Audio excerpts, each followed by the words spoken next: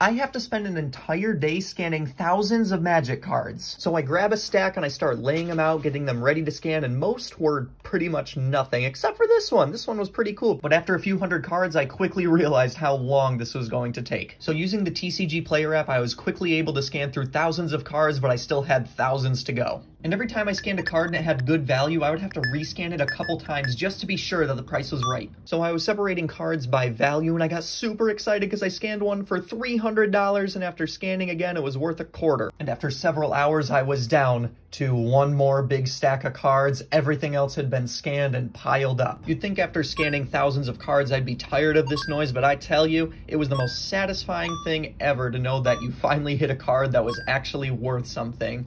Then the final card ended up having some value. So we have all our piles, gonna organize them into all of these stacks and be good.